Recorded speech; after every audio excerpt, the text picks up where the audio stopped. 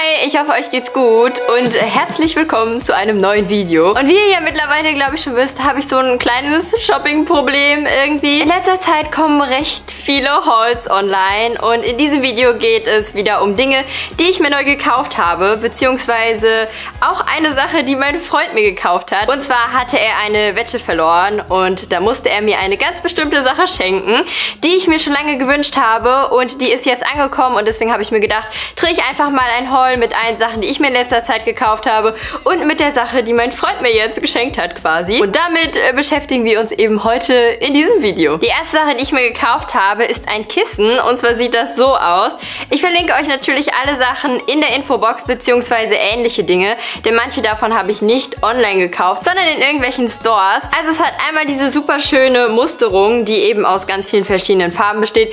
Deswegen hat es mich auch angesprochen und ich habe mir gedacht, dass es auch ganz süß im Hintergrund aussehen könnte. Ich habe das Kissen jetzt mal da hinten hingelegt und ich finde es ganz süß. Also ich finde es jetzt auch nicht zu bunt oder so. In diesem Haul gibt es sowieso ganz viele Dinge, was so das Thema Inneneinrichtung angeht, weil ich doch jetzt mein Zimmer wieder so ein bisschen sommerlicher gestalten wollte, denn wir haben ja auch schon Juni und in meinem Zimmer ist ja alles eher immer so weiß oder in sehr unauffälligen Farben und dann habe ich mir gedacht, dass ich da doch mal ein bisschen Farbe reinbringe. Dann habe ich mir diesen Duschschwamm hier gekauft, beziehungsweise Badeschwamm und es ist nicht mein erster, den ich diesen Monat gekauft habe. Irgendwie habe ich so eine kleine Sammelliebe für Duschschwämme entwickelt. Ich weiß, das ist ein wirklich sehr, sehr merkwürdiges Hobby. Und das war halt so eine süße Erdbeere. Deswegen musste der einfach mit. Dann habe ich dieses Produkt hier entdeckt und das ist mal so ein bisschen was Ausgefalleneres. Und zwar ist das ein Instagirl Flash Photo Powder.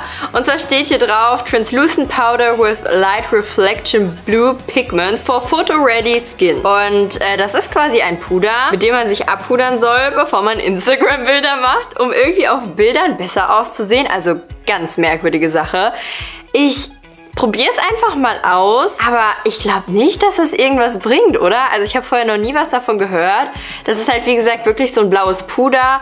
Es gibt auch blaue Farbe ab. Klar, wenn man das halt nur mit einem großen Puderpinsel da ein bisschen rumswirlt und sich dann ins Gesicht klatscht, dann wird man da jetzt nicht blau aussehen. Ich probiere es äh, gerne mal aus, denn wie ihr wisst, habe ich ja so eine kleine Leidenschaft für Instagram. Falls ihr mir noch nicht auf Instagram folgt, ich heiße da xlater und ich poste sehr gerne sehr viele Bilder auf Instagram. Instagram macht mir einfach total Spaß. Ich glaube, jeder, der häufig Instagram nutzt, der kennt das. Ich liebe Instagram.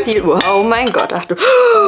Oh mein Gott, es ist mir gerade runtergefallen und kaputt gegangen. Oh nein, guckt euch das mal an. Okay, dann nicht. Okay, auch wenn das Teil mir gerade kaputt gegangen ist, werde ich es trotzdem ausprobieren und mal ein Bild damit machen und es auf Instagram hochladen. Und dann könnt ihr mir ja mal schreiben, ob da meine Haut besser drauf aussieht. Dann habe ich mir ein 12er-Pack von diesen Haargummis hier gekauft, also diese Telefonkabel-Haargummis. Und bei mir verschwinden die halt einfach immer. Und Spaß, ich weiß nie, wo diese Haargummis am Ende landen. Ich habe so den leisen Verdacht, dass Tabi sie immer klaut. Und ähm, ja, deswegen habe ich mir jetzt mal einen 12er-Pack geholt, damit ich äh, nicht mehr so am Limit lebe, was Haargummis angeht. Ich benutze am liebsten auch immer die transparenten, beziehungsweise am aller, allerliebsten die transparenten, die noch so ein paar funkelnde Glitzer-Dinger drin haben. Aber ich glaube, das ist auch okay fürs Erste und ähm, dann habe ich jetzt erstmal wieder Haargummis. Dann habe ich mir diese Sache hier bei Amazon bestellt und der Karton kam einfach so an, irgendwie voll zerfetzt und außerdem ist hier so eine mega krasse Staubschicht drauf. Ich weiß gar nicht, ob man das sieht, aber ähm,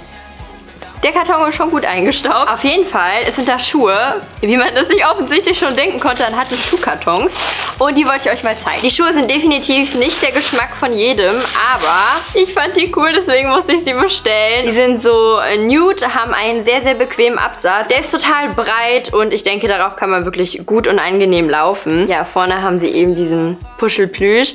Ich muss sagen, dass mich da vorne dieses Fell so ein bisschen an Tabi erinnert. Es ist natürlich kein echtes Fell, das wollte ich auch nochmal an dieser Stelle betonen. Und das waren jetzt auch keine krass teuren Markenschuhe oder so. Ich habe sie in einer Nummer kleiner bestellt, weil ich so hohe Schuhe eigentlich immer in einer Nummer kleiner bestelle. Allerdings sehen die schon recht klein aus. Also ich weiß gar nicht, äh, ob die mir wirklich passen. Das probiere ich nachher einfach mal, aber so sehen sie aus. Und ich finde sie süß. Schreibt mir mal in die Kommentare, ob ihr sie süß findet. Wenn ihr sie hässlich findet, ist es auch in Ordnung. Ich kann schon verstehen, dass das nicht der Geschmack von jedem ist. Vergesst übrigens nicht, dem Video einen Daumen nach oben zu geben, wenn ihr noch mehr Holz sehen möchtet. Denn ich bin doch so ein bisschen in Kauflaune und ich könnte euch sehr gerne öfter mal zeigen, was ich mir so in letzter Zeit gekauft habe. Das heißt, falls du Lust hast, dass ich euch weiterhin meine Einkäufe zeige, dann gebt dem Video einen Daumen nach oben und ich weiß Bescheid. Eine Sache, die wirklich unerlässlich ist, wenn man eine Katze zu Hause hat, sind solche Fusselrollen oder wie auch immer die heißen. Die haben so eine Marmorstruktur, einmal in grau und einmal in äh, rosa. Also der grau ist dann einfach so ein Ersatzaufsetzer. Und die fand ich doch ganz schön. Und wie gesagt, mein Freund und ich, wir haben einfach einen super hohen Verschleiß an Fusselroller wegen diesem kleinen Ding hier, das da sitzt. Der schläft dann nämlich auf einem Stuhl, aber er möchte irgendwie nicht aufs Bett, deswegen lasse ich ihn da jetzt mal auf seinem Stuhl schlafen. Tabby verliert halt einfach unfassbar viele Haare und deswegen habe ich mir neue Fusselrollen gekauft. Dann geht es weiter mit noch einem Kissen, das ich mir gekauft habe. Ich weiß auch nicht wieso, aber ich habe einfach total Lust, meinen Videohintergrund ein bisschen umzugestalten. Ihr könnt mir auch mal in die Kommentare schreiben, welchen Hintergrund ihr am besten findet. Ich habe ja auch noch mal einen anderen, also den, wo irgendwie alles voll ist mit Lichterkette, wo eine weiße Kommode im Hintergrund ist ist und ein pinker Schminktisch. Deswegen ist auch einmal dieses Kissen da. Und dann habe ich jetzt auch noch dieses hier gekauft. Ich glaube, ich lege das auch mal dazu. Okay, man sieht nicht so viel von dem Kissen, aber da ist es.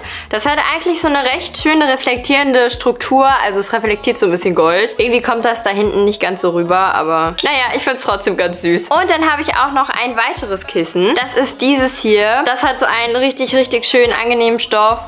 Es fühlt sich total hochwertig an. Obwohl das Kissen sehr günstig ist. Den Bezug muss ich allerdings auf jeden Fall waschen, auch die von denen da hinten erstmal. Weil ich es doch ein bisschen eklig finde, ein Kissen auf meinem Bett rumliegen zu haben, das vorher schon ein paar hundert Menschen oder so angefasst haben. Aber um es euch mal zu demonstrieren, werde ich auch das mal in meinen Hintergrund legen. Da ist übrigens eine Papiertüte im Bild. War die jetzt schon die ganze Zeit da? Oh Mann, das wäre ja voll der Fail. Okay, ich habe das Kissen jetzt mal da hingelegt, relativ am Rand. Ich weiß nicht, findet ihr es cool oder nicht? Farbe schon recht kräftig, aber ich glaube, ich finde es ganz gut. Die nächste Sache, die ich mir gekauft gekauft habe, ist das hier. Das sind solche Face and Nail Stickers und die fand ich doch ganz spannend. Das heißt, die kann man sich einfach zu Deko-Zwecken oder weiß ich nicht warum, wenn man einfach Bock drauf hat, auf die Nägel kleben oder auch ins Gesicht. Und die sind halt in Gold und Silber. Das heißt, es könnte eigentlich ganz gut aussehen, deswegen habe ich sie mir mitgenommen. Vor allem waren sie auch ganz günstig und dann wollte ich das mal ausprobieren. Die nächste Sache ist so ein bisschen verrückter, aber ich habe sie trotzdem mal gekauft. Und zwar ist das ein Peppermint Cooling and Reviving Foot Spray. Also das ist so ein Spray für die Füße. Das wäre im Sommer doch mal eine ganz nette Sache, habe ich gedacht.